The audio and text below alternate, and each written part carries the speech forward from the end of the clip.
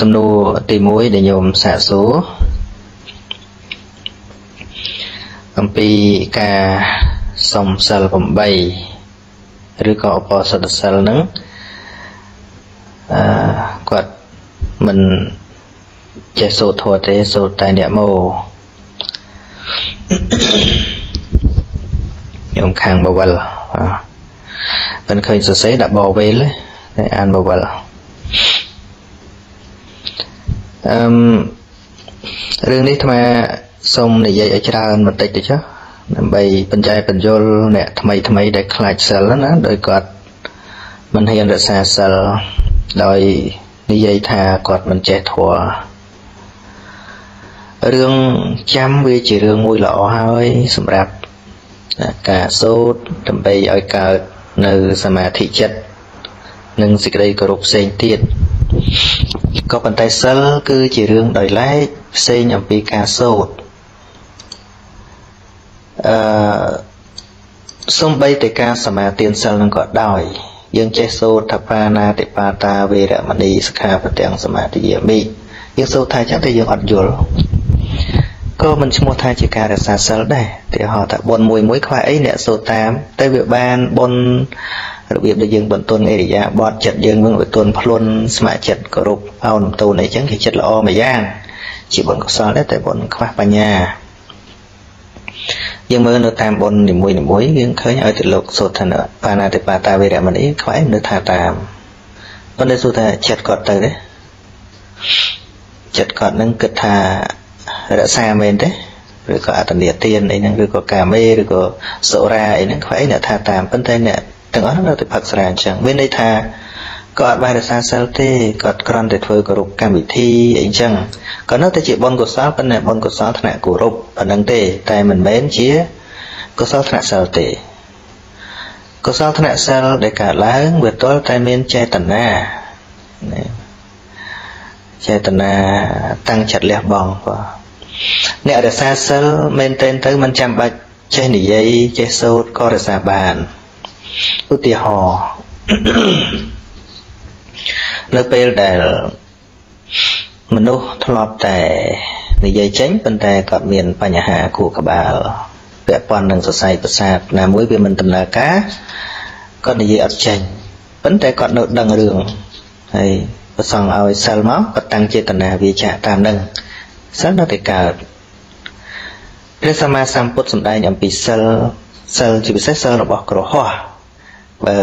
បព្វជិតសិលរឿងផ្សេង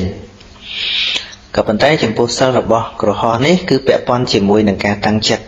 ចេតនាហ្នឹងគឺសំដៅទៅដល់ការតាំងចិត្តវាណាព្រះអង្គសម្ដែងថា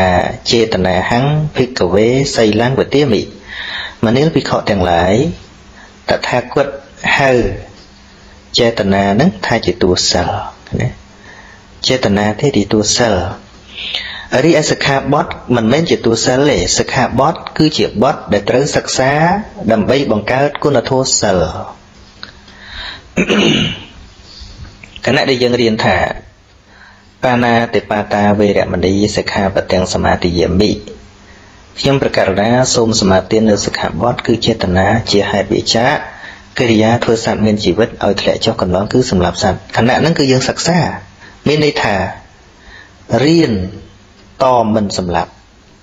ណាសិក្ខាហ្នឹងគឺសិក្សា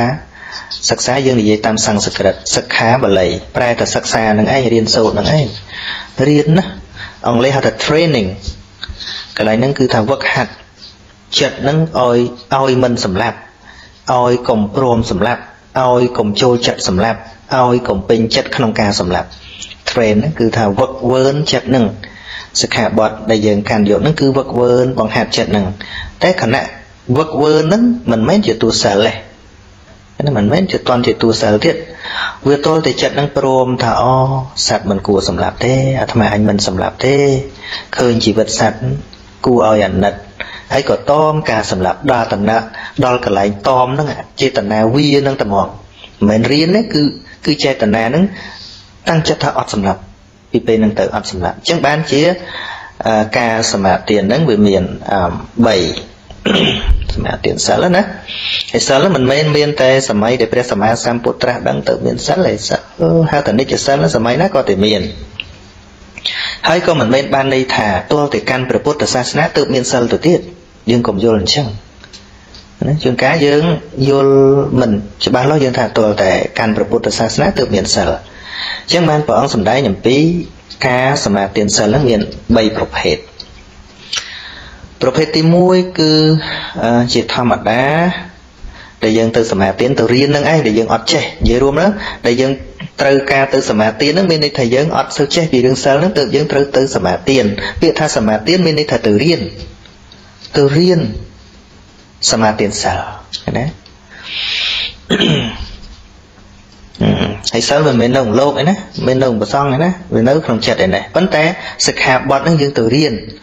ការទៅសមាទានសិលស្មើនឹងការទៅរៀនអំពីសិលនឹងឲ្យច្បាស់មិនមែនទៅយកសិលពីលោកទេណាមិនមែនទៅយកសិលពីលោកទេ គឺការទៅរៀនអំពីសិលនឹងឲ្យច្បាស់ហើយប្រព្រឹត្តប្រតិបត្តិនៅក្នុងជីវិតប្រចាំថ្ងៃនៅផ្ទះពេលធ្វើការងារបំពេញកិច្ចការសពគ្រប់បែបយ៉ាងទាំងអស់នេះ អញ្ចឹងពាក្យនេះទំនងជាមិនដែលនរណានិយាយទេពាក្យហ្នឹងថាការទៅសមាទានសិលស្មើនឹងពាក្យថាទៅរៀនអំពីសិលពីមុននេះយើងធ្លាប់ធ្លាប់តែចេះថាទៅសមាទានសិលមានន័យថាទៅកាន់សិលឬក៏ទៅសុំសិលហាក់ដូចជាសិលនឹងនៅក្នុងលោកហ្នឹងឯងវាមិនមែនអញ្ចឹងទេលោកគ្រាន់តែប្រាប់ប្រាប់ឲ្យយើងក៏ថាតាម គឺរបៀបរៀនតារបៀបរៀនយកសិក្ខាបទហ្នឹងគឺបទដែលត្រូវរៀនបទហ្នឹងស្មើនឹងមេរៀនឬក៏អត្ថបទ ឬក៏វគ្គ clear ដែលត្រូវរៀនបទហ្នឹងណាសិក្ខាគឺត្រូវរៀនបទដែលត្រូវរៀនអញ្ចឹងអញ្ចឹងហើយបានជាអាហាររបស់សិលគឺអ្វីណាដែលសិលយើងធំធាត់គឺអ្វីដែលយើងរក្សាសិលហើយសិលធំធាត់គឺអ្វីអាហាររបស់សិលគឺការស្ដាប់ធម៌គឺការសន្ទនាធម៌លំអិតលំអន់ឲ្យច្បាស់លាស់អំពីសិលហ្នឹងណា អំពីសិលហ្នឹងណាអញ្ចឹងបានជារាល់ថ្ងៃសិលហ្នឹងត្រូវមានការសន្ទនាការស្ដាប់ធម៌ហ្នឹងដើម្បីអីដើម្បីឲ្យការយល់ដឹងអំពីសិលហ្នឹងកាន់តែច្បាស់លាស់កាលណាច្បាស់លាស់យើងធ្វើទៅវាមិនខុសលោកឧបមាដូចជាថាបុគ្គលអ្នករសាគោត្រូវតែស្គាល់គោឲ្យច្បាស់ត្រូវស្គាល់គោភិនភាករបស់គោចំណងចំណូលចិត្តរបស់គោអាហាររបស់គោ យកប្រលប់ត្រូវដុតបំពួកភ្នក់ភ្លើងបំអើលមុខអីជាដើមហ្នឹងនឹងទៅរក្សាគោបានថត់ធំល្អយ៉ាងណាមិញអ្នករក្សាសិលគឺត្រូវតែស្គាល់សិលហ្នឹងឲ្យបានច្បាស់អញ្ចឹងការស្ដាប់ធម៌ការសន្ទនាធម៌ការសិក្សាលម្អិតលម្អន់អំពីសិលហ្នឹងគឺជាអាហាររបស់សិលធ្វើឲ្យសិលហ្នឹងមានការមានកម្លាំងដែលហៅថាធាត់នោះធាត់ហ្នឹងធាត់ខ្លាំងមិនមែនធាត់រីករាយទេ នឹងចឹងអញ្ចឹងអាត្មានិយាយបន្តអំពីការសមាទាន3ទៅទៀតញាតិញោមសួរតែបន្តិចទេអាត្មានិយាយឲ្យច្រើនដើម្បីឲ្យយើងយល់ពីសិលនឹងតិចទៅចាអញ្ចឹងសមាទានវិរតិវិរតិនឹងគឺដោយការសមាទានពីអ្នកមានសិលពីប្រសង់ឬក៏បុគ្គលឯណាជាអ្នកបង្រៀនពីសិលហ្នឹងគឺសមាទានដោយការរៀនយកដោយការកាន់យកមានន័យថាដោយការរៀនឲ្យច្បាស់ហើយក៏រក្សាទៅ រក្សារហូតទៅដល់ចេះដឹងយល់ឡើងយល់ឡើងទៅបានដឹងថាអូសត្វមិនគួរសម្លាប់មែនណានឹងរហូតដល់គេដាក់សត្វឲ្យសម្លាប់អត់ហ្មងពួកដឹងខ្លួនថាខ្ញុំរក្សាសិលខ្ញុំឈប់សម្លាប់ដឹងប៉ុណ្ណឹងមិនតាន់ល្អប្រហែលទេវាទល់តែដឹងច្រើនឡើងច្រើនឡើងច្រើនឡើងច្រើនឡើងយូរទៅភ្លេចទាំងសិក្ខាបទទៅទៀតប៉ុន្តែចេតនាកើតឡើងហ្មងចេតនាថាសត្វមិនគួរសម្លាប់ណាសត្វមិនគួរសម្លាប់មកពីអីមកពីធ្លាប់រៀនយូរទៅវាថ្នាក់ថ្នាក់អត់សម្លាប់នឹងគេអាណិតអសូរកើតឡើង ដូចបងប្អូនថ្មអីចឹងកាលមុននៅជនបទនឹងចលេនអីញិចលេងទៅសត្វតូចតូចអីញិចលេងទៅកតុំរុយអីញិចលេងទៅដល់តែមកនេះឲ្យរៀនរសាសិលអីចឹងទៅក្មេងៗហ្នឹងដំបងដំបងប្រាប់សឹងមិនស្ដាប់ទេចង់តែធ្វើលេងអីចឹងប៉ុន្តែដល់យូរវាធ្លាប់ធ្លាប់អត់ទៅអត់ទៅអត់ទៅឥឡូវលែងហ៊ានស្លាប់អីណាអាកន្លែងលែងហ៊ានសម្លាប់ហ្នឹងជាចេតនាសិលឃើញជីវិតគេលែងចង់សម្លាប់មកកើតពីអីអានឹងកើតទៅជាសិលហើយតែហ្នឹង ជាចេតនាទៅជាគុណធម៌ហើយណាលែងចង់ស្លាប់គេដោយសារខ្លួនឯងដោយហេតុឯណានេះមួយអញ្ចឹងហើយបានជាអឺគូជាមួយនឹងនិច្ចសិលណានិច្ចសិលហ្នឹងមានពាក្យថាកល្យាណធម៌ហើយបូកផ្សំចូលគ្នាហៅថាសិលធម៌សិលជាហេតុធម៌ជាផលក្នុងទីនេះណាការរក្សានៅការមិនសម្លាប់សត្វ ទីបំផុតទៅបង្កើតនៅមេត្តាធម៌ណាមេត្តាធម៌នឹងគឺជាផល ផលនៃការរៀនមិនសម្លាប់ដល់តែរៀនមិនសម្លាប់យូរទៅកើតចិត្តរាប់អានកើតចិត្តអាណិតអាសូរឡើងនោះដល់តែកើតទៅហ្នឹងឯងឈ្មោះថាកើតធម៌កើតគុណធម៌សិលសិលធម៌អញ្ចឹងការមិនសម្លាប់សត្វនាំឲ្យកើតមេត្តាធម៌ណានាំឲ្យកើតមេត្តាធម៌ឋានៈមេត្តាធម៌ហ្នឹងគឺជាគុណធម៌សិលពិតប្រាកដអទី2 មិនលួចទ្រព្យគេដំបូងឡើយហាមចិត្តទេហាមចិត្តតែកុំឲ្យចង់លួចចង់ដោយសារតែចង់មានបានអីសោះគ្រប់ដំបូងរៀនវឹកហាត់រៀនយូរយូរយូរចេះពិចារណាឡើងពិចារណាឡើងហេតុអីបានជាព្រះអង្គមិនឲ្យយើងលួចគេនេះយើងរមូលហេតុមិនបានមិនចាំបាច់ត្រូវឲ្យលួចគេចេះស្វែងយល់ឆ្វេងយល់អំពីចិត្តអ្នកដតីនិងចិត្តយើងឧទាហរណ៍ថាយើងស្រឡាញ់ទ្រព្យរបស់យើងយ៉ាងណាបើយើងបាត់ទៅតើអឺ យើងស្ដាយយ៉ាងណាយើងខំរកមកដោយលំបាកលំបិនអ្នកដតីមកបំផ្លាញទៅយើងលំបាកយ៉ាងណាអូចិត្តអ្នកដតីក៏អញ្ចឹងណាអាហ្នឹងការយល់ដឹងយល់ដឹងដឹងពីទុកលំបាករបស់អ្នកដតីបើអញលួចគេក៏គេលំបាកអញ្ចឹងដែរក៏កើតនៅសមាអាជីវៈការរស់នៅប៉ុណ្ណាប៉ុណ្ណឹងកុំលមោបលោភលន់របស់គេណាឋានៈហ្នឹងគុណធម៌សិលកើតកើតឡើងណាកន្លែងថាបាណាតាមលោកអត្តនីតាមលោកមិនតន់ជាគុណធម៌សិលកើតទេគណៈហ្នឹងរៀនរៀនទេណារៀនទេ ថាមិនត្រូវក៏មិនអីដែរវាគ្មានបញ្ហាអីទេបាណាទៅបាតាញាតិញោមថាតាណាដូចជាតាណាក៏បានប៉ុន្តែយល់ថាម៉េចអានោះសំខាន់ណាបើប្រសងបួសថាមិនត្រូវបួសមិនឡើងប៉ុន្តែញាតិញោមវាមិនសំខាន់ថាយ៉ាងម៉េចទេប៉ុន្តែថាយើងរក្សាពាក្យបល័យពាក្យអីឲ្យវាល្អក៏វាបាននៅសេចក្តីគោរពការថែរក្សានោះឲ្យបានដែរកូនប្រពន្ធគេអីក៏ដូចគ្នាអញ្ចឹងពាក្យកុហកអីក៏ដូចគ្នាអញ្ចឹងសរាអីក៏ដូចគ្នាអញ្ចឹង ណាវាទល់តែកើតឡើងអាត្មាក៏រាប់ថាទៅវាកើតធัวយ៉ាងម៉េចសិលធัวនោះយើងមិនលួចទ្រព្យអ្នកដទៃណាហាត់យូរយូរទៅវាទៅកើតអេសមាអាជីវៈមានន័យថារស់នៅដោយប្រពៃអាចចិញ្ចឹមជីវិតខ្លួនបានដោយមិនប៉ះពាល់ទ្រព្យសម្បត្តិអ្នកដទៃណានឹងគឺជាធัวហៅថាសមាអាជីវៈជាគុណធัวកើតមកពីការមិនមិនលួចគេនឹងរៀនមិនលួចដបងឡើយប៉ុន្តែចិត្តមនុស្សណាក៏ចង់បានដែរ ចិត្តមនុស្សវត្ថុជួននេះប៉ុន្តែត្រូវរៀនរៀនរហូតដល់វាលែងចង់បានរបស់គេណាអាហ្នឹងទៅឈ្មោះថាជាគុណធម៌ការពិសាឡាឃើញទេកូនប្រពន្ធកូនគេហ្នឹងយើងក៏គិតឃើញអញ្ចឹងគេស្រឡាញ់កូនប្រពន្ធដីប្រពន្ធគេយ៉ាងណាយើងទៅបំផ្លាញសុភមង្គលគេក៏កើតនៅហៅថាសតិរសន្តោសៈយើងចង់សុខសប្បាយ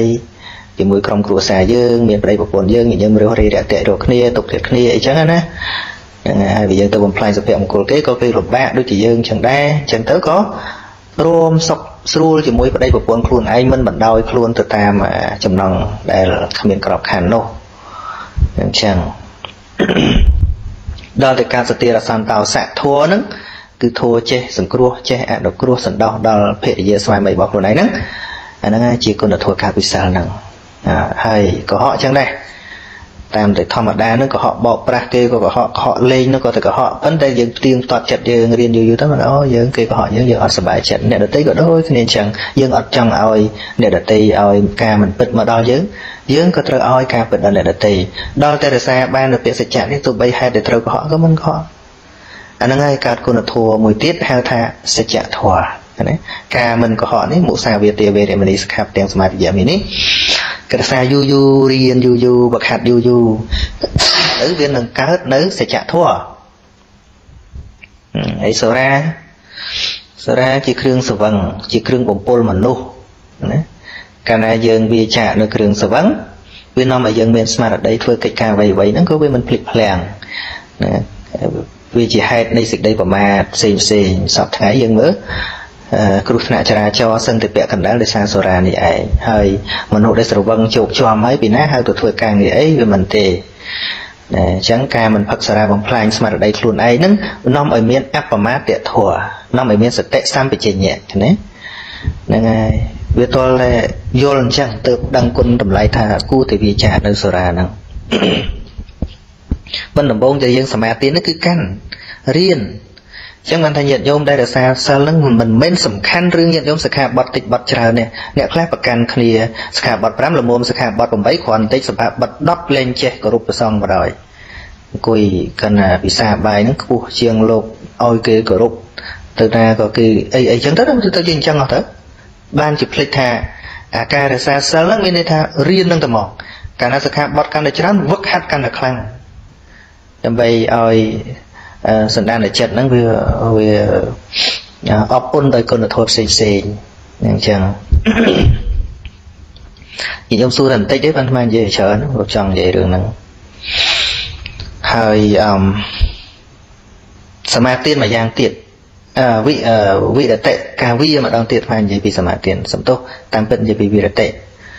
វិរតិមាន3 ពីដើមមកថ្មនិយាយពីសមាធិ3ប៉ុន្តែតាមពិតគឺវិរតិវិរតិនេះប្រែតែការវិចេតនាវិណាវាទី1នេះគឺវាដោយការរៀនផ្ដើមដោយការរៀនយកពីអ្នកណាដែលចេះពីប្រសងអញ្ចឹងដូចយើងនិយមថាថ្ងៃសិលយើងទៅសមាធិណាហើយវាខាត់រហូតឲ្យវាដោយកម្មវិធីកុំព្យូទ័រណាត្រូវអាប់អាប់ដេតរហូតណាគឺថាឲ្យវាយល់ដឹងឲ្យច្រើនឡើងច្រើនឡើងល្អទៅល្អទៅមិនសូត្រទេគឺការវឹកហាត់ផ្លូវចិត្ត កាយវិចារចិត្តនេះមួយទៀតដែលអាត្មានិយាយថាសូម្បីតែអ្នកមិនកាន់ព្រះពុទ្ធសាសនាក៏មានសិលដែរនោះសំដៅដល់និច្ចសិលសិល5ដដែលនិច្ចសិលហ្នឹងយើងទូយ៉ាងដូចជាសម័យដែលមិនមានព្រះពុទ្ធសាសនាមិនមានព្រះពុទ្ធសាសនាក៏មាននិច្ចសិលនឹងដែរក៏មានក៏មានដែរ ប៉ុន្តែសប្តាហ៍ថ្ងៃយើងហាក់ដូចជាយកនិច្ចសិលហ្នឹងមកសម្រាប់តែពុទ្ធសាសនាហើយសាសនាដទៃដូចជាគ្មានមិនអញ្ចឹងទេនិច្ចសិលគឺជាសិលប្រចាំលោកប្រសិនបើពិភពលោកត្រូវបាត់បង់និច្ចសិលនឹងត្រូវវិនិច្ឆ័យត្រូវអន្តរធានដូចជារៀបរាប់ឲ្យដោយការសម្លាប់អីចឹងបើសិនជាអត់មានធម៌មេត្តាក្នុងចិត្តទេពិភពលោកត្រូវវិនិច្ឆ័យត្រូវសម្លាប់គ្នាងាប់ហើយហើយអត់ចេះរោគស៊ីខ្លួនឯងដើរលួចទ្រព្យសម្បត្តិគេបាណាបាណីច្បុកច្បល់ងាប់ គ្មានច្បាប់ទម្លាប់រឿងប្តីប្រពន្ធច្បុកច្បល់គ្នាងាប់បោកប្រាស់គ្នាឈប់ទុកចិត្តគ្នាគឺថាលំបាកលំបិនមែនតើដូច្នេះអឺចំពោះអ្នកមិនកាន់ព្រះពុទ្ធសាសនាហើយមានសិលដែរនោះគឺមិនដែលរៀនមិនដែលដឹងថានឹងជាសិលមិនបាច់ដឹងទេគឺអត់ដឹងទេអាត្មាលើកឧទាហរណ៍រឿងដូចជាសម័យមួយ កាលដែលព្រះសម្មាសម្ពុទ្ធជាម្ចាស់នៃយើងព្រះអង្គមិនទាន់បានមកកើតក្នុងកំណត់ចុងក្រោយនេះទេជាតិមុននោះយូររាប់រយពាន់ម៉ឺនឆ្នាំមុននេះនោះ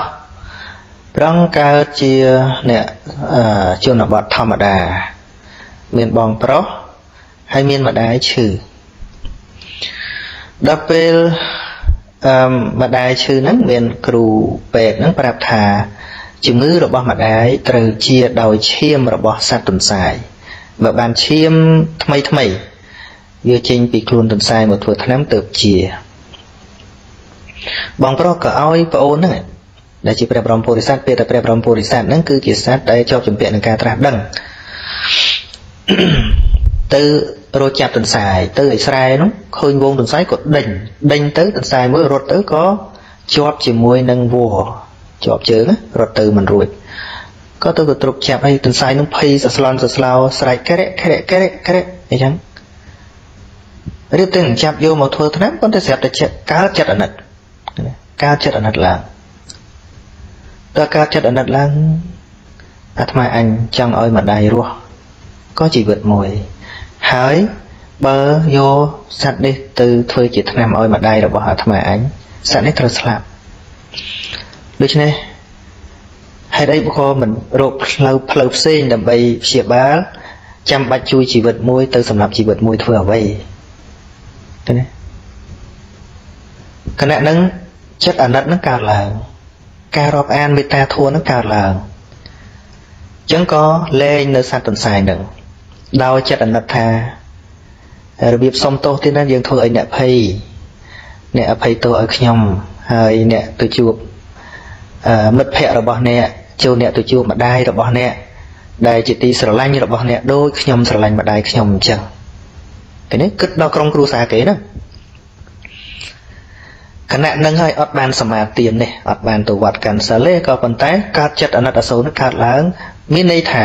សត្វនឹងគួរសម្លាប់ហើយនៅក្នុងកណ្ដាប់ដៃរបស់ខ្លួនស្រាប់តែចេតនានឹងកើតឡើងហើយមិនសម្លាប់ឲ្យគេរស់នេះគឺជាគុណធម៌សិល ត្រូវនឹងពាក្យព្រះអង្គសម្ដែងថាចេតនាហੰភិក្ខវេសីលੰវទាមិមនាលភិក្ខុទាំងឡាយតថាគតហៅចេតនាជាតួសិលគឺចេតនាមិនសម្លាប់នឹងត្មងអត់មានចិត្តចង់សម្លាប់នឹងតែម្ដងឃើញទេនឹងជាចេតនាសិលហៅថាសម្បតវិរតិសម្បតមានន័យថាដល់ព្រមរឿងដែលមកដល់ភ្លាមភ្លាមហើយសមាជិកភ្លាមភ្លាមនឹងឯងហៅថាសម្បតវិរតិវិរតិសិលដែរ យើងមើលមើលដូចនៅប្រទេសគេអាត្មាធ្លាប់ទៅនៅកាណាដាឬក៏អាមេរិកឬក៏នៅអូស្ត្រាលីឬក៏អាត្មាទៅស្រីលង្កាឃើញគេអត់សម្លាប់សត្វទេអ្នកខ្លះហ្នឹងឃើញសត្វឈឺអីចឹងទៅអាណិតដឹកទៅពេទ្យអីចឹងខណៈហ្នឹងគឺមានសិលប៉ុន្តែគេមិនហៅថាហ្នឹងជាសិលជាអីគេមិនចេះនិយាយតែប៉ុណ្្នឹងទេគុណធម៌តាមពិតវាគ្មានឈ្មោះទេប៉ុន្តែព្រះអង្គត្រូវកំណត់ឈ្មោះដើម្បីឲ្យយើងសិក្សារៀនសូត្រទីបំផុតមិនបាច់ដាក់ឈ្មោះថាហ្នឹងជាសិលក៏បានដែរឲ្យតែចិត្តហ្នឹងវាកើតឡើងអញ្ចឹងមែនហ្នឹងហើយគឺជាគុណធម៌ហ្នឹងអញ្ចឹងអានេះរឿងនៅក្នុងគម្ពីរដីការឿងប្រហែលជាជាង10ឆ្នាំមុននេះណាលើកឲ្យឃើញកាលនោះទៅតែបែកមកដូចថាមានកំភ្លើងមានអីនៅតាមផ្ទះអញ្ចឹងហើយមានបរិសម្នាក់ហ្នឹងហ្នឹងកូនសិស្សនៅជាមួយលោកកាលនោះអាត្មានៅវត្តពេញែកហ្នឹងមានកូនសិស្សម្នាក់គាត់នឹងស្នាក់នៅរៀនវត្តហ្នឹងគាត់និយាយប្រាប់ណាដឹងទៅនៅណាទេស្ដាប់ឮអាត្មានិយាយផងក៏មិនដឹងគាត់និយាយអំពីបរិសម្នាក់ នៅស្រុកគាត់ហ្នឹងចាស់ចាស់ចិត្តទៅហាមកុំអោយទៅបាញ់សត្វបាញ់អីគាត់មិនស្ដាប់គាត់ស្ដាប់គាត់ទៅបាញ់ស្វាបាញ់តូចបាញ់សត្វព្រៃហ្នឹងគាត់ចេះតែទៅបាញ់យកមកធ្វើមកហូបមកជប់លៀងអីចឹងឬក៏យកមកលក់មកអីចាំជីវិតគាត់ចឹងពេលមួយដែលធ្វើឲ្យគាត់កើតសិលដោយមិនដឹងខ្លួនគាត់ឃើញសត្វស្វាញីមួយ មេស្វាញីមួយហ្នឹងកំពុងតែប្រឡែងគ្នាជាមួយកូនទូចនៅលើសម្បុកខាងលើគាត់បាញ់បាញ់ត្រូវផាំងចំពោះផាំងមកវាទៀតមកចាប់ជាប់ចាប់មេឃឈើជាប់ហើយខំខំយឹតខ្លួនឯងឡើងលើវិញឲ្យរួចគាត់តាមមើលអោបកូនយំហៀទឹកភ្នែកអោបកូនហើយឲ្យកូនបើយូរបន្តិចទៅហូរឈាមច្រើនឡើងច្រើនឡើងទន់ខ្លួនក៏របូតដៃធ្លាក់មកស្រាប់តែគាត់ គាត់កើតចិត្តអាណិតខ្លោចចិត្តពេលហ្នឹងគាត់ពីមុនមកគាត់សម្រាប់សត្វគាត់មិនដែលដឹងថាសត្វហ្នឹងវាចេះស្រឡាញ់គ្នាអញ្ចឹងគាត់បោះកំភ្លើងចោលនៅក្នុងព្រៃហ្នឹងគាត់តាមមកផ្ទះវិញគាត់ឈប់សម្លាប់សត្វ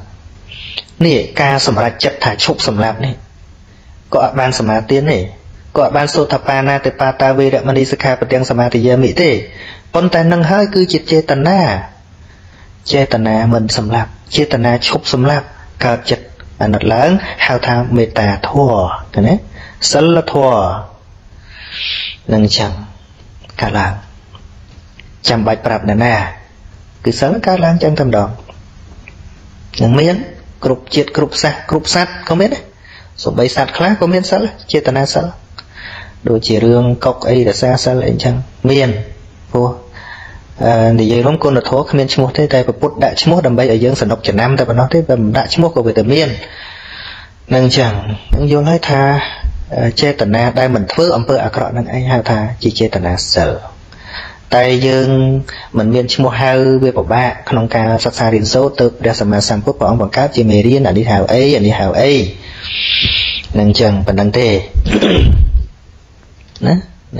ទ្របចឹងដែរ គាត់អត់ដែលរក្សាសិលអត់ដែលអីទេប៉ុន្តែឃើញរបស់គេជ្រុះអីចឹងទៅគាត់គិតថាអូគាត់បាត់ទ្របមិនដឹងថាលំបាកយ៉ាងណាប្រពន្ធបន្ទោសមិនហៅម្ចាស់ហ៎លបងជ្រុះហើយរបស់ហើយអីចឹងហ្នឹងហើយចេតនាសិលកើតឡើងថាតាំងចិត្តថាអញមិនយកមិនចាំបាច់សូត្រថាអតនីទាននេះអីឃើញទេមិនចាំបាច់សូត្រអីគឺជាចេតនាសិលហើយងាយងាយនៅក្នុងជីវិតយើងនរណាក៏មានសិលយើងគិតមើល វាគ្រាន់តែមានខ្លះខ្លះឬក៏មានមិនជាប់ឬក៏ស្អីប៉ុន្តែបើយើងបានតាំងចិត្តថាជាអ្នករសាសិលយើងកាន់រហូតទៅវាអញ្ចេះទេសូម្បីតែអ្នកដែលមិនតន់រសាសិលក៏មានគណៈមានសិលដែរបើសិនជានៅក្នុងសង្គមមនុស្សយើងអត់មានគុណធម៌សិលនឹងទេរួមមិនបានទេរួមមិនបានទេណាគឺត្រូវច្បុកច្បល់ងាប់ប៉ុន្តែគ្រាន់ថាយើងមិនបានដាក់ឈ្មោះតែប៉ុណ្ណោះយើងហៅថាជាមនុស្សធម៌ឬក៏សិលធម៌ធម្មតា រស់ជាមនុស្សត្រូវតែចេះយោគយល់អីចឹងយើងប្រើពាក្យអញ្ចឹងចឹងមកវិញប៉ុន្តែហ្នឹងហើយគឺជាគុណធម៌សិលនឹងចឹងយល់ហើយថាសម្បត្តិវិរតិហ្នឹងគឺថាអត់ពាក់ព័ន្ធជាមួយការសមាធិទេប៉ុន្តែបើកាលណាយើងបានសមាធិបន្ថែមយើងរៀនបន្ថែមឲ្យដល់លំអរបស់សិលហ្នឹងវាកាន់តែល្អជាងការដែលយើងមិនដឹងជាងការយើងមានហើយតែយើងមិនដឹងថាយើងមានរបស់ល្អទៅទៀតប៉ុណ្្នឹងទេ ហើយវិតតិមួយយ៉ាងទៀតនោះគឺបានដល់ការវិចាររបស់ពួកអរិយបុគ្គលអាហ្នឹងគឺថាវិតតិការវានឹងដោយសមុច្ឆេតវិរតិនឹងវិរតិដោយដោយដាច់ដោយអស់ជើងដោយអស់ឫសគល់នៃការធ្វើខុសតទៅទៀត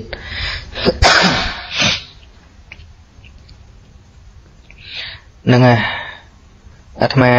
ឆ្លើយតែមួយនេះសឹងតែអស់ម៉ោងទៅហើយប៉ុន្តែចង់និយាយឲ្យញាតិញោមយល់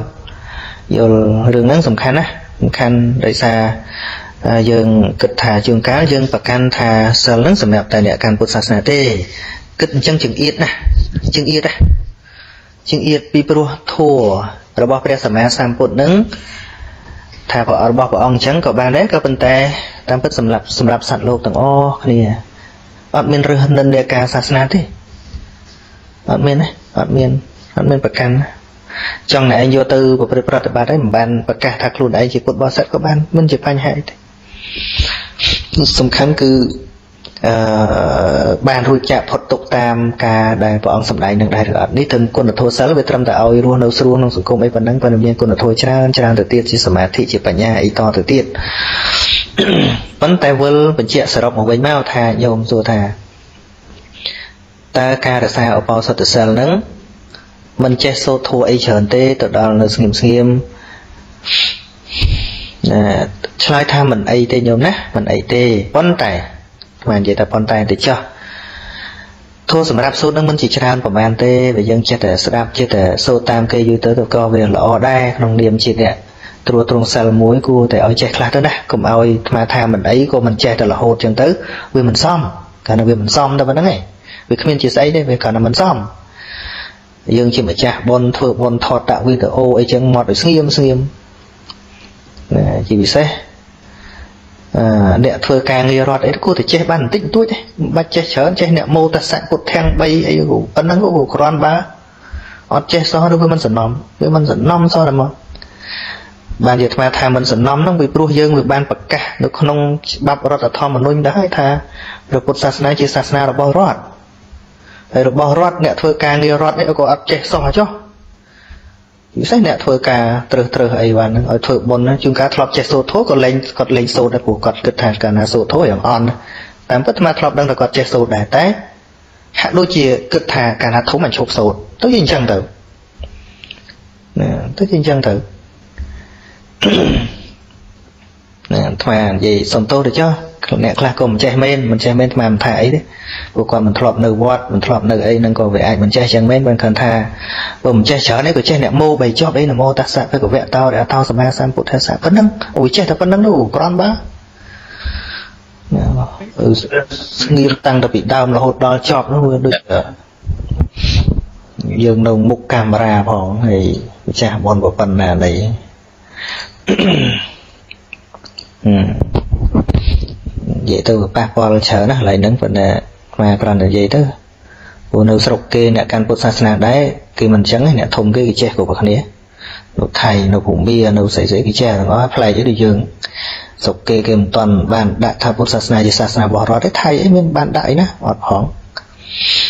ហ្នឹងហើយអញ្ចឹងខ្មែរមិនសនោមពួរឲ្យចេះច្រើនទេសនោមពួរឲ្យចេះតែអ្នកម៉ូ3ចប់ហ្នឹងក៏បានដែរតែប៉ុណ្្នឹងទៅក៏ គ្រាន់បើអត់ចេះសោះដូចជា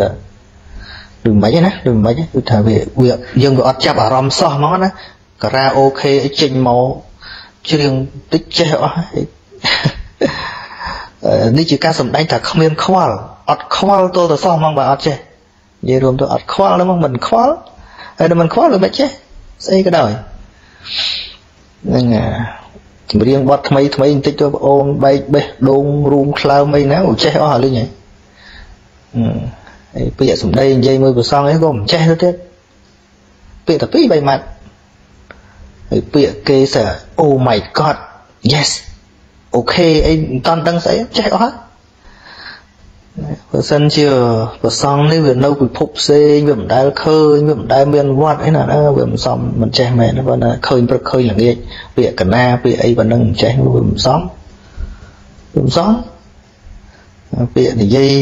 ហៅស្ដាច់ហៅអីហ្នឹងក៏មិនចេះវាមិនសមពីព្រោះបាវចនាវាមាន3ហ្នឹងអានេះវាគ្រាន់តែមិនសមទេញោមញាតិញោមមិនចេះក៏មិនអីវាមិនបាបដោយសារតែមិនចេះហ្នឹងទេអាត្មានិយាយនេះគឺគឺគឺគ្រាន់តែវាមិនសមតែប៉ុណ្្នឹង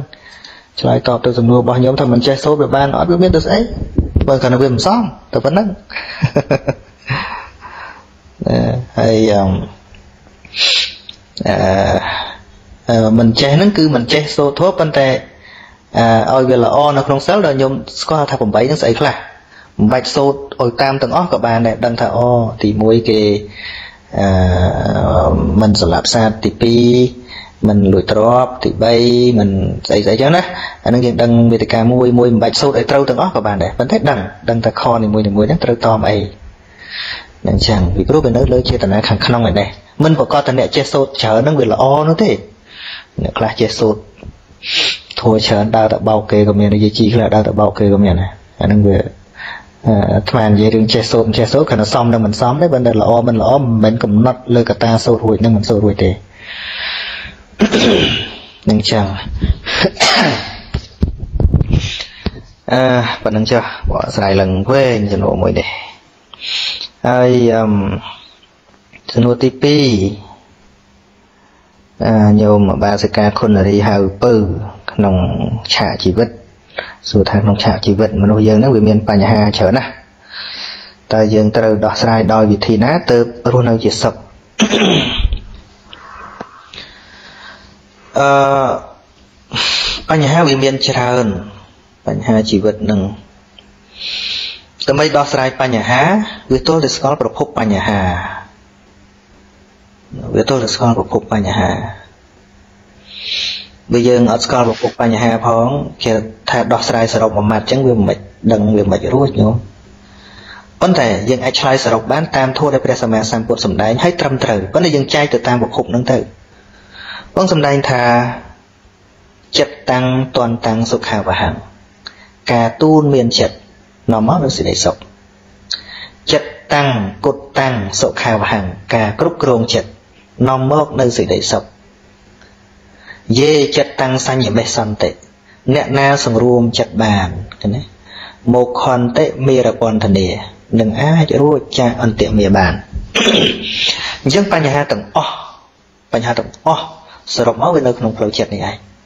កាលណាដោះស្រាយផ្លូវចិត្តបានបញ្ហាទាំងអស់វាដូចអត់បញ្ហាអញ្ចឹងគូបញ្ហាមកពីចិត្តអាទីហៅដូចយើងដេកលក់មានដឹងថាបាក់ចិត្តណាដឹងមិនដឹងទៅពិបាកណាស់ជាពាក់លុយគេចេះយកចេះយកសពគ្រប់ប្តីចេះប្តីចូលប្រពន្ធចេះប្រពន្ធចុះអាដេកលក់ឈឹងមានដឹងពិបាកណាអញ្ចឹងសរុបបញ្ហាវានៅលើផ្លូវចិត្តអញ្ចឹងត្រូវទូនមានចិត្តអប់រំចិត្តហើយអប់រំចិត្តដោយវិធីណាវាទៅតែរៀនវាទៅតែយល់ដឹងច្រើន នឹងចឹងមិនអាចយកមួយម៉ាត់ហ្នឹងឲ្យមនុស្សគ្រប់គ្នាមកអូអប់រំចិត្តអប់រំចិត្តគួយអប់រំចិត្តអញ្ចឹងរួចផុតទុកគ្រប់តែគ្នាបាត់ហើយវាអាស្រ័យទៅលើការយល់ដឹងវាអាស្រ័យទៅលើការយល់ដឹងអាស្រ័យទៅលើការចេះអត់សង្កត់ទៅលើធัวច្រើនយ៉ាងទៀតនៅក្នុងអតិបាតធัวនោះ មួយម៉ាត់ហ្នឹងវាមិនមែនស្ដាប់ទៅវាយល់ដូចគ្នាធ្វើបានដូចគ្នាមិនមែនអញ្ចឹងហើយបានជាអ្នកស្ដាប់ធម៌ព្រះសម្មាសម្ពុទ្ធព្រះអង្គសម្ដែងអញ្ចឹងមែនខ្លះសម្រេចគុណធម៌ខ្លះអត់ខ្លះមិឆាទិដ្ឋិបដ ாய் ណាស្ដាប់ពាក្យហ្នឹងពាក្យប៉ុណ្្នឹងមានអ្នកខ្លះសម្រេចធម៌មានអ្នកខ្លះគាត់យល់អឺតាមមានអ្នកខ្លះប្រឆាំងបដ ாய் មានន័យថាម៉េចមានន័យថាសូម្បីតែនឹងជាផ្លូវត្រូវផ្លូវត្រង់ក៏ដោយប៉ុន្តែកម្រិតដែលសត្វលោកទទួលបាននិងមិនបានវានៅលើឧបនិស្ស័យចឹង มันខុសពីការព្យាបាលជំងឺទេឈឺអញ្ចឹងគេដាក់ថ្នាំហ្នឹងជាគ្រប់ប្រគ្រាឯងដាក់ទៅវាមិនជាព្រោះភពជំងឺហ្នឹងប្រភេទឈាមយើងយើងការវាខុសពីប្រតិកម្មអាឡែកស៊ីស្បែកអីជាមួយនឹងដេញថ្នាំហ្នឹងអូមានអញ្ចឹងវាអត់មានអីក្រៅពី ការសិក្សាយល់ដឹងច្រើនទាំងផ្លូវលោកទាំងផ្លូវធម៌នឹងឯងណាញោមនៅក្នុងលោកនេះព្រះអង្គសម្ដែងថាចុងក្រោយបំផុតថា បញ្ញាយបរិសុជតិឬថាបុគ្គលមានបញ្ញាមានខ្លួនឯងជាទីពឹងអត្តាហេអត្តនោនិធោហើយនឹងពាក្យថាបញ្ញាយបរិសុជតិហើយនឹងពាក្យថាបុគ្គលមានបញ្ញាឈ្មោះថាមានខ្លួនឯងជាទីពឹងស្មើគ្នាជាងតែយើងស្ដាប់ត្រឹមពាក្យថាអត្តាហើយអត្តនោនេថោខ្លួនទីពឹងខ្លួនយោខ្លួនទីពឹងខ្លួនឈប់ពឹងណាមិនយល់ទេអត់យល់ គោលបំណងនៃពាក្យនោះគឺខ្លួនទីពឹងខ្លួនគឺសំដៅដល់ឧត្តមបញ្ញាមនុស្សដែលដើរទៅដល់បញ្ញាដ៏ខ្ពង់ខ្ពស់នោះមើលគ្រប់បញ្ហាទាំងអស់រហូតដល់ឆ្លងលោកនេះទៅដល់លោកកតរ៉ែនោះបុគ្គលដែលមានបញ្ញាកម្រិតនោះទៅឈ្មោះថាមានខ្លួនឯងជាទីពឹងមិនមែនល្ងងល្ងងទៅមានខ្លួនឯងទីពឹងមិនជាមួយនឹងពាក្យថាអត្តាហេអត្តនោនេថោនោះគឺមនុស្សប្រឹងណាប្រឹងរៀនសូត្រប្រឹងពិចារណាប្រឹងឆ្វេងយល់គ្រប់រឿងបញ្ហាទាំងអស់ មនុស្សនឹងយល់គ្រប់ស្ថានភាពទាំងអស់ទើបដឹងថាតើគួរដើរដោយវិធីណាឃើញទេដល់ទៅបុគ្គលនឹងមានបញ្ញាហើយយើងយើងចាំបាច់ទៅប្រាប់គាត់អីទៀតអញ្ចឹងចម្លើយថ្មអាចឲ្យសរុបបានអញ្ចឹងថាទល់តែមានបញ្ញា នៅពេលដែលយើងមានបញ្ញាគ្រប់គ្រាន់ហើយបញ្ញានឹងប្រើជំនួសពាក្យថាវិជាវិជានឹងមិនមែនវិជាតែវិជាផ្លូវលោកទេគឺវិជាផ្នែកទស្សនៈវិជាស្អីស្អី គឺត្រូវតែចេះដឹងឲ្យច្រើនហើយជាពិសេសវិជាដែលចូលទៅដល់ការកំណត់ដឹងនៅនាមរូបនេះនឹងទៅជាវិជាដែលខ្ពង់ខ្ពស់បំផុតដែលក្នុងលោកនេះមិនមានណាចូលទៅដល់តំណងហើយដល់ចូលទៅដល់តំណងហើយត្រូវធ្វើម៉េចទៀតអានឹងលែងប្រាប់ហ่ะគឺកន្លែងដែលយើងអាចកំណត់បានដោយខ្លួនឯងឧទាហរណ៍ថាយើងកំពុងឈឺអញ្ចឹងទោះថាធ្វើម៉េចដើម្បីឲ្យវាបានជាគ្រាន់តែប្រាប់ថាទៅព្យាបាលទៅ ណាឲ្យព្យាបាលទៅហើយចាំបើព្យាបាលជាហើយមិនទៀតអាហ្នឹងដឹងប្រាប់ថាមិនទេបើវាជាហើយនឹងអញ្ចឹងអញ្ចឹងដើម្បីទម្លុះទម្លេងដល់រាល់បញ្ហាទាំងអស់វាគ្មានអីក្រៅពីចំណេះដឹងទេទាំងការរស់នៅក្នុងសង្គមក៏អញ្ចឹងវាទៅតែចេះច្រើនធ្វើអីក៏ទៅតែចេះដែរធ្វើអីក៏ទៅចេះដែរវិជាជីវិតហ្នឹងដូចគ្នាអញ្ចឹងក៏ត្រូវតែយល់ដឹងដែរខ្វះខាតការយល់ដឹងដោះស្រាយមិនបានដែរអញ្ចឹងអញ្ចឹងបើយើងសួរថាតើខ្ញុំត្រូវធ្វើម៉េចឲ្យត្រឹមត្រូវធ្វើម៉េចឲ្យដោះស្រាយបានអញ្ចឹងមកប្រាប់ថាត្រូវរៀនរៀនហ្នឹងស្អីក៏ដោយត្រូវរៀនហ្នឹងរៀនឲ្យចេះសិនហើយជិះបើខ្ញុំចេះហើយត្រូវធ្វើម៉េចទៀតអាហ្នឹងសំណួរហ្នឹងលែងឆ្លើយកើតជិះបើចេះហើយសួរម៉េចសំណួរគឺសម្រាប់អ្នកអត់ចេះចុះបើចេះឲ្យសួរអីទៀតគ្រាន់តែសួរទីផ្ទាត់ទេអាហ្នឹងសួរឆ្ងល់វាលែងមានហើយវាលែងឆ្ងល់ហើយវាក៏វាមិនដឹងថាត្រូវសួរណាថាខ្ញុំត្រូវធ្វើអីទៀតទេ គឺឃើញតែហើយឧទាហរណ៍ឥឡូវយើងនៅ ខាងក្រោមយើងមើលអាទីខ្ពស់ហ្នឹងអត់ឃើញយើងក៏សួរថាតើនៅអាខាងលើហ្នឹងវាមានអីខ្លះឥឡូវគេប្រាប់អូវាមាននេះមាននេះមាននេះមាននេះមាននេះអញ្ចឹងអ្នកខាងក្រោមដូចគ្នាប្រាប់ប្រាប់ដល់គឺខំឡើងឡើងឡើងឡើងឡើងទៅដល់កន្លែងហ្នឹងឃើញទាំងអស់យើងមានចិត្តឆ្ងល់ថាចង់សួរអ្នកក្រោមទៀតសាតើលើនេះមានអីវាមិនត្រូវសួរសួរកាន់លបងបញ្ញាអ្នកក្រោមមកវិញទេតែសម្រាប់ខ្លួនឯងវាឈប់ឆ្ងល់ វាឃើញអស់ហើយមានស្អីប៉ុណ្ណឹងណាតែនៅពេលដែលយើងដើរមិនទាន់ដល់ចំណុចហ្នឹងយើងត្រូវការសួរសួរតើអាលើនឹងវាមានអីណាទៅមុខទីនឹងវាមានស្អីថាសួរក៏សួរទៅមិនជាអីទេចិត្តតែប្រាប់ចឹងទៅប៉ុន្តែ សំខាន់ដល់ដល់ដល់អស់សំណួរក៏ដោយដូចជាអរិយបុគ្គលទាំងឡាយអញ្ចឹងនៅពេលដែលព្រះសម្មាសម្ពុទ្ធព្រះអង្គចិត្តចូលបរិនិព្វាន ព្រះអង្គអពាតហើយផ្ទុំទៀតពេលបរិនិព្វានហ្នឹងប្រាប់ភិក្ខុទាំងឡាយធម្មនាភិក្ខុទាំងឡាយបើភិក្ខុណាមួយមានចម្ងល់អំពីរឿងសាសនាព្រមចរិយធម៌ឬក៏កិច្ចឯណានិមួយដែលមិនយល់ចូលអ្នកទាំងឡាយសួរតថាគតចុះកុំឲ្យស្ដាយក្រោយថាយើងមកតន់ពេលដែលព្រះអង្គមានបញ្ជូនដែរតែ មិនបានសួរឥឡូវព្រះអង្គអស់បញ្ជូនទៅមិនបានសួរកុំឲ្យស្ដាយក្រោយអញ្ចឹងឲ្យសោះអ្នកសួរចោះមិនអីទេតថាគតលហិតលហៃមែនប៉ុន្តែនៅតែអាចឆ្លើយឲ្យអ្នកទាំងឡាយបានព្រោះឆ្ងល់អីអ្នកសួរចោះព្រះអង្គថាម្ដងពីរដងបីដងបានព្រះអនន្តថាអស្ចារ្យណាស់អស្ចារ្យណាស់ព្រះអង្គភិក្ខុទាំងឡាយមិនមានការឆ្ងាយឆ្ងល់អ្វីសោះនៅក្នុងសាសនាព្រហ្មចរិយធម៌នេះ បានព្រះសម្មាសម្ពុទ្ធព្រះអង្គទ្រង់ត្រាស់សម្ដែងថាមនាលភិក្ខុទាំងឡាយជាការពិតហើយតថាគតក៏ដឹងដូច្នោះដែរភិក្ខុទាំងឡាយនេះមិនមានចម្ងល់ទៀតទេព្រោះគុណធម៌របស់ភិក្ខុនេះយ៉ាងទាបបំផុតគឺសោតាបណ្ណបុគ្គលណាមានន័យថាលោកបានទៅដល់ត្រើយថាតើនៅក្នុងនឹងវាមានអីវាអស់សេចក្តីសង្ស័យថាតើពពុទ្ធនឹងនាំទៅណាវាឈប់សង្ស័យអញ្ចឹង វាឃើញឃើញថាអ្វីដែលលោកបានគោរពប្រតិបត្តិនឹងវាជិញលទ្ធផលយ៉ាងណាលោកបានដឹងច្បាស់ដល់ខ្លួនឯងអញ្ចឹងវាអស់ឆ្ងល់វាអត់ឆ្ងល់ត្រង់អាកន្លែងដល់នឹងតែមកកន្លែងដល់នឹងតែមកណារឿងដែលយើងចេះតែឆ្ងល់គឺមកពីវាមិនតន់ដល់វាមិនតន់ពលត្រូវរីឯភិក្ខុទាំងឡាយបានពលត្រូវឈប់ឆ្ងល់អញ្ចឹងវាមានអីក្រៅពីការប្រឹងប្រែងអញ្ចឹងបានជានៅក្នុងសាសនានេះ មាន3ហើយមាន3នេះមិនមែនសម្រាប់តែសាសនានឹងទេមិនមែនសម្រាប់តែធម្មវិន័យនេះទេគ្រប់ការងារសង្គមទាំងអស់គឺត្រូវតែឆ្លងកាត់3ហ្នឹងទៅបានជោគជ័យទី1បរិយត្តិសាសនាបរិយត្តិសាសនាបរិយត្តិគឺពាក់ព័ន្ធនឹងការសិក្សារៀនសូត្រនៅធម្មវិន័យហ្នឹងឯងណាដើម្បីបដិបត្តិយ៉ាងណា ទី1ឆ្នាំទី1គឺត្រូវសិក្សា រៀននៅអស់ទាំងផ្នែកវិបស្សនាទរៈទាំងផ្នែកកណ្ដទរៈហ្នឹងត្រូវតែរៀនរៀនឲ្យចេះចោលឆ្នាំទី1ហ្នឹងមិនបានទេឆ្នាំទី1គឺបរិយត្តិបរិយត្តិសាសនាចំណុចទី2បដិបត្តិសាសនា គឺគោរពប្រតិបត្តិអ្វីដែលយើងបានរៀនបានចេះនឹងឯងទៅទី3នោះគ្រាន់តែជាលទ្ធផល គឺបដិវេធសាសនា គឺការចាក់ធ្លុះការពលត្រូវ ការសម្រេចនៅគោលបំណងនៅផ្នែកសង្គមខាងក្រៅវាអញ្ចឹងដំបូងគេត្រូវទៅសាលារៀនទៅសាលារៀនហើយត្រូវទៅធ្វើការយកអត់ពិសោធន៍ឲ្យបានច្រើនឃើញទេទីបំផុតទៅជោគជ័យនៅក្នុងកិច្ចការងារដូចគ្នាអញ្ចឹងចម្លើយបើអាត្មាឆ្លើយស្រូតកាត់ថាតើធ្វើយ៉ាងណាដើម្បីដោះស្រាយបញ្ហាជីវិត បញ្ហាឆ្លើយជាទៅបានប៉ុន្តែ